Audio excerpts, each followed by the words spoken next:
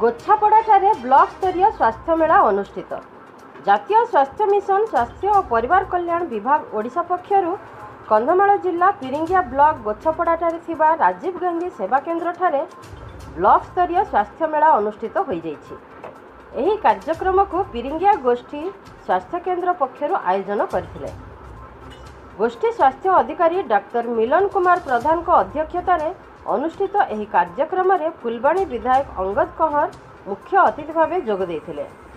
ସମ୍ମାନିତ ଅତିଥି ଭାବେ ଫୁଲବାଣୀ ଜିଲ୍ଲା ମୁଖ୍ୟ ଚିକିତ୍ସାଧିକାରୀ ମନୋଜ କୁମାର ଉପାଧ୍ୟାୟ ପିରିଙ୍ଗିଆ ପଞ୍ଚାୟତ ସମିତି ଅଧ୍ୟକ୍ଷା ନମିତା କହଁର ଜିଲ୍ଲା ପରିଷଦ ସଦସ୍ୟ ନୀଳଗିରି ଦିଗାଲ ଗଛପଡ଼ା ସରପଞ୍ଚ ଯୁଗାନ୍ତ କହଁର ପଲାବ୍ରୁଡ଼ି ପଞ୍ଚାୟତ ସରପଞ୍ଚ ଲୀଲାବତୀ ମଲ୍ଲିକ ଲୁଇସିଂ ପଞ୍ଚାୟତ ସରପଞ୍ଚ ସୁଦର୍ଶନ କହଁର ସଲାଗୁଡ଼ା ପଞ୍ଚାୟତ ସରପଞ୍ଚ ରୋହିତ କହଁର ସାଂସଦ ପ୍ରତିନିଧି ବିଷ୍ଣୁଚରଣ ମଲ୍ଲିକ ପ୍ରମୁଖ ଉପସ୍ଥିତ ଥିଲେ।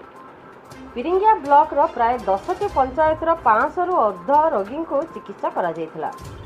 ଶିବିରକୁ ଆସିଥିବା ରୋଗୀମାନଙ୍କୁ ରୋଗର ନିଦାନ ସହ ରାଜ୍ୟ ସରକାରଙ୍କ ପକ୍ଷରୁ ଆସିଥିବା ବିଭିନ୍ନ ଔଷଧ ମାଗଣାରେ ବିତରଣ କରାଯାଇଥିଲା। ଏହା ସହିତ ପ୍ରାୟ କୋଡ଼ିଏ ଜଣ ରୋଗୀଙ୍କ ସ୍ୱାସ୍ଥ୍ୟ ପରିଚୟପତ୍ର ପଞ୍ଜୀକରଣ କରିବା ସହ ତିନି ଜଣ ରୋଗୀଙ୍କ ଭିଡ଼ିଓ ବାର୍ତ୍ତା ମାଧ୍ୟମରେ ନିଦାନ କରାଯାଇଥିଲା।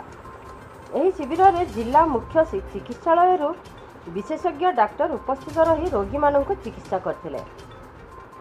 ଏଥିରେ ଶିଶୁ ରୋଗ ବିଶେଷଜ୍ଞ ଡାକ୍ତର ମନୋରଞ୍ଜନ ରାଉତ ଅସ୍ଥିଶଲ୍ୟ ବିଶେଷଜ୍ଞ ଡାକ୍ତର ନିରାକାର ଭଟ୍ଟ ଚକ୍ଷୁ ରୋଗ ବିଶେଷଜ୍ଞ ଅରବିନ୍ଦ ଦାସ ଚର୍ମରୋଗ ବିଶେଷଜ୍ଞ ଡାକ୍ତର ଏ କେ ଟୁଡୁ ଦ- ଦନ୍ତରୋଗ ବିଶେଷଜ୍ଞ ଡକ୍ଟର ପ୍ରଦ୍ୟୁମ୍ନ କହଁର ଭେଷଜ ବିଶେଷଜ୍ଞ ଡାକ୍ତର ୟୁ କେ ବେହେରା ସ୍ତ୍ରୀ ଓ ପ୍ରସୂତି ବି- ରୋଗ ବିଶେଷଜ୍ଞ ଡାକ୍ତର ତପସ୍ୱିନୀ ଆଚାର୍ଯ୍ୟ ମାନସିକ ରୋଗ ବିଶେଷଜ୍ଞ ଡାକ୍ତର ଶ୍ରୀଧର ମହାନ୍ତି ପ୍ରମୁଖ ଉପସ୍ଥିତ ରହି ରୋଗୀମାନଙ୍କୁ ଚିକିତ୍ସା କରିଥିଲେ ଏହି କାର୍ଯ୍ୟକ୍ରମକୁ ଗୋଛାପଡ଼ା ପ୍ରାଥମିକ ଚିକିତ୍ସା କେନ୍ଦ୍ରର ସ୍ୱାସ୍ଥ୍ୟ ଅଧିକାରୀ ଡାକ୍ତର ସହିସ୍ତା ପରବିନଙ୍କ ସମେତ ଗୋଛାପଡ଼ା ଫାର୍ମାସିଷ୍ଟ ବୁଲୁ ସାହୁ ପିରିଙ୍ଗିଆ ଗୋଷ୍ଠୀ ସ୍ୱାସ୍ଥ୍ୟ କେନ୍ଦ୍ରର BPM Ajay Kumar Sahu BAM Prabha- Prabhat Kumar Muni programming manager Pratyush Kanti DHO Prashant Kumar ସାହୁଙ୍କ ସମେତ ବ୍ଲକର ସମସ୍ତ ମହିଳା ସ୍ୱାସ୍ଥ୍ୟକର୍ମୀ ଆଶାକର୍ମୀ ଅଙ୍ଗନୱାଡି କର୍ମୀମାନେ ସହଯୋଗ କରିଥିଲେ। ଏହି ପରିପ୍ରେକ୍ଷୀରେ ଏକ ସ୍ୱେଚ୍ଛାକୃତ ରକ୍ତଦାନ ଶିବିର ଆୟୋଜନ କରିଥିଲେ।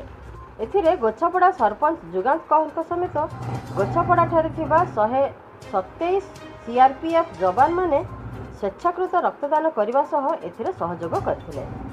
କନ୍ଧମାଳ ଜିଲ୍ଲାରୁ ସୁଧାଂଶୁ କୁମାର କହରଙ୍କ ରିପୋର୍ଟ ଏକେଏନ୍ ନ୍ୟୁଜ୍।